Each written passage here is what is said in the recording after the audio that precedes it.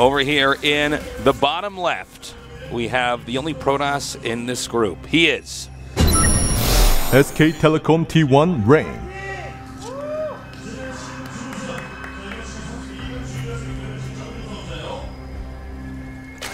over here in the upper right. We have our Zerg the underdog. He is CJ Entus Songduri. Well, I'm uh, I'm pretty excited for this tasteless to see how how Rain will do in this group. And the thing is, ZVZ can still be quite volatile. You know, I feel like any of these Zergs could beat each other. You know, on a given day. well. It's a volatile matchup. Um, by the way, uh, somebody was tweeting at me earlier today asking me what exactly is our sponsor. It's a clothing shop Ah, yes. online. Uh, they, they have an English site, so you know. En at j o g u n s h o p dot com. Yep. And I'm spelling that out because I think if I just say it, Yes. you won't be able to spell it. en.jogunshop.com. Yeah, jogunshop.com. Check it out. Yeah, they're uh, Got they some nice sponsor stuff. the GSL, which is like that's pretty pretty darn important, guys. It's one of the most important things you can do. Yeah, yeah. you know, it certainly What? what? What were you? I was just trying to think of the things that might be more important. I'm like, well, I guess you know, funding cancer research and stuff like that trying to is- stop Alzheimer's. yeah, and things like you that. know, like uh, health-wise, maybe health is a bit more important. But right after that, Right taste, after this that. is GSL Coda like sponsors. the next second after yeah, that. just it's it, not even second. It's like 1.5 on the list. wow. So, well, well, well, well. Looks like um, we have uh, Protoss so far taken up. Probably going to do uh, the more modern fast expand here. It is uh, the build of choice for many. In the meantime, Songduri going for a hatchery first and going right into gas and pool. So that's a very safe way to do it. And by the way, guys, uh, yeah, you don't have to worry about the the cannon rushing on this map. The minerals are fine. You know, there were some problems with whenever a new map pops out. Uh, sometimes it's like cannon rushing is too good on it if the minerals aren't placed Well, just right. This is something that they don't oftentimes test for when they make new maps. Is I think they will. cannon in rushing's not as it's common, but not as common on, on, on, pro play. It's common on the ladder once in a while. You're just like, ah, this kid is going to do this to me. All right, well, we're not going to play a normal game now. Mm-hmm. Um, but yeah, uh, a lot of times they don't check for that, and then you find out like, oh, two pylons to block this off and end the game. Yeah, yeah, if it's two pylons to block off, then That's a it's game bargain. over. And uh, even three is pretty pretty strong. Yeah. so, anyways, uh, everything looking good. Right into the Stargate play here. He didn't see that. No, that pylon was actually placed really well. If he had seen the pylon there, you would have gone back a little bit Yeah, more. I'm sure. that's a really good observation. It's so low. He's saying, "Well, there's nothing back there. I got to get out. Mm-hmm. Try to get my overlord out of here before it gets shot down." Uh, third base now, over here in top center. All, all good to see. I really like Songduri's opening here, to tell you the truth, Tasteless. He's gotten the quick speed.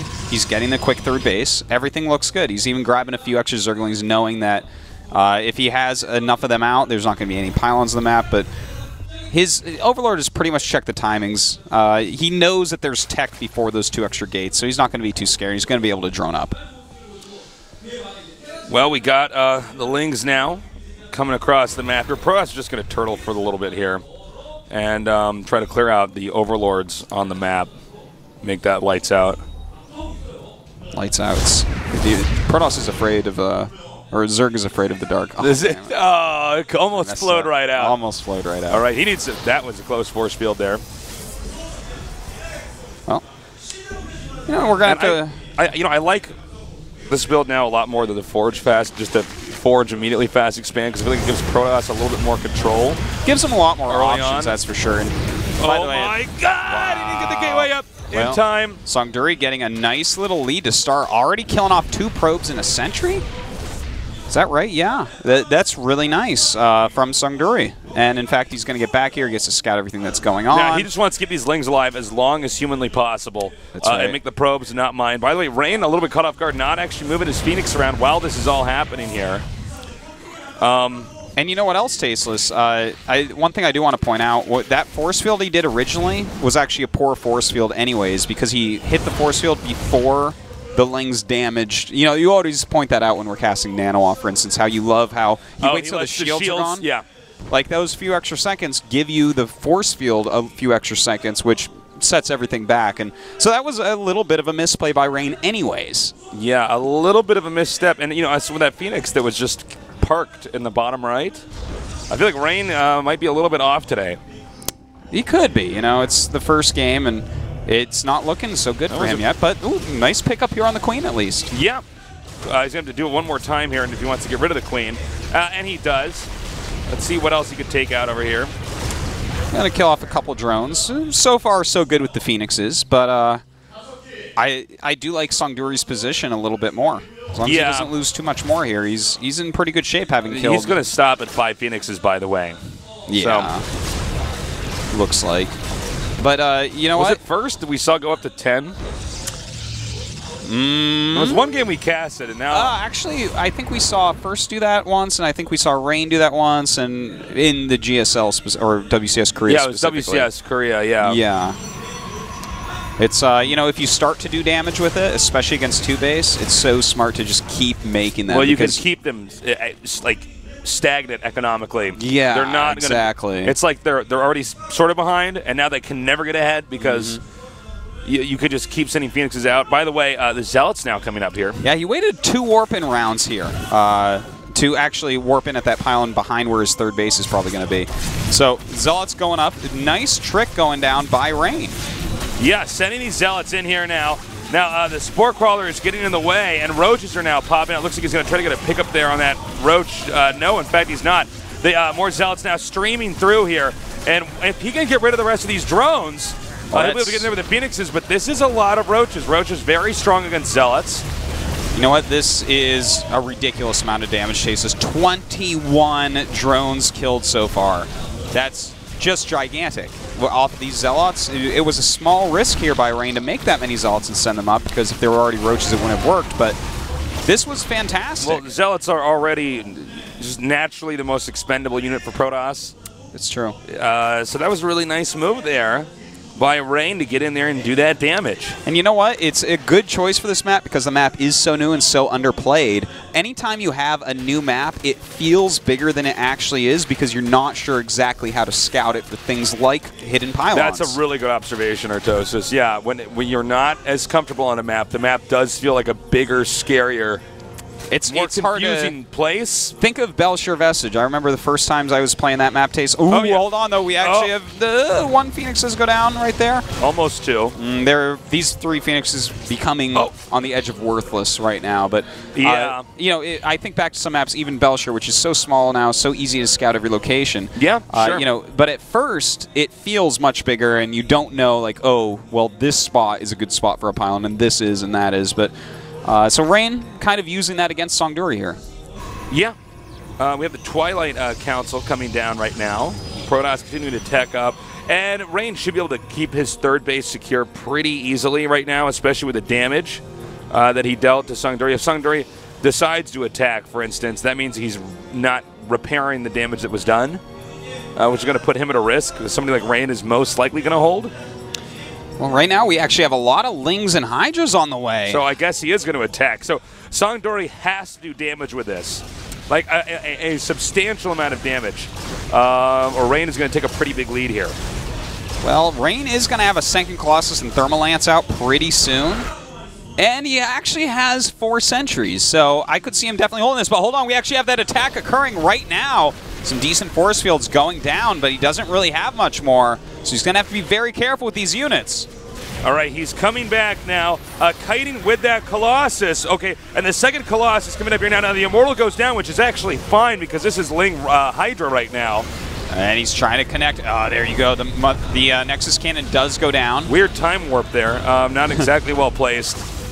Well, and, and he basically cleans this up. And like I was saying, if Songduri um, committed to an attack and didn't do damage, it would be very bad for him. And let's see if he can do any more right now, because so far it's been a little bit disappointing from him. Uh, and he's trying to, but well, actually, you know what? Those Lings getting in on that Colossus have done a lot of damage, and the Ah! Colossus. So, it's okay. Oh It's okay. my God. Oh, if I'm Songduri, I Oh, am man. crying right now. he That needs is to just keep that Colossus safe. Uh, That is that's so so important, man. Oh, You know, it, you know he's got to be kicking himself for that. it feels like Songduri is trying to play like a DRG style, but with two Colossus left alive and the Spire being this late, I don't even know if a Mutalisk tech switch is is reasonable. We might see him go into Corruptors.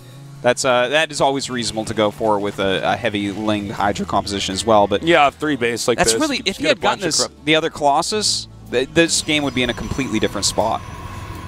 man, It would still I would still put Rain actually ahead because he does have the third base, but with two Well, you know, Colossus out, man. With, Ooh. with units like the Colossus, because they increment out of the Robo, Mm. like if you suddenly lose two or three, let's just say the Viking shots or Corruptor shots or something, uh, and, and it, it's an unacceptable situation to do so. It's not like it was a big battle and they were going to die no matter what. yeah. Um, you are so behind because you will you will forever for the, for the rest of the game be that number of Colossus behind.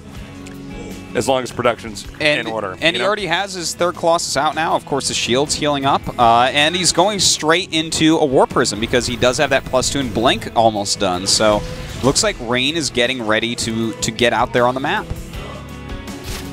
All right, the Phoenixes continue to patrol around here. Now, this is not for harass. This is just to scout and see what exactly is the Zerg doing. Since the Phoenix numbers are low enough, they're not really useful for harass. Maybe if you could nab a drone that was going to go make a base or something, or I guess pick up a Zergling at a watchtower or something.